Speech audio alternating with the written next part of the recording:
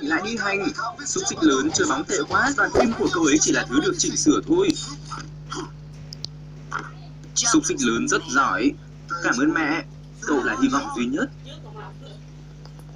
Cho họ biết tay đi con trai.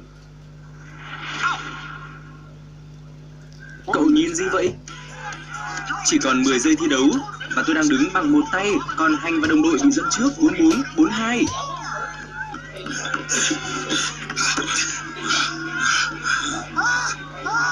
anh bị kèm rồi.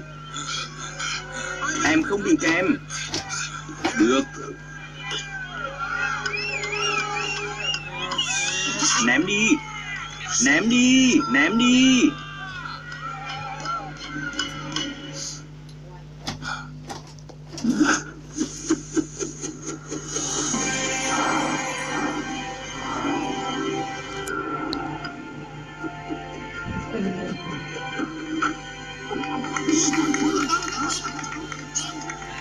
Giỏi lắm con trai.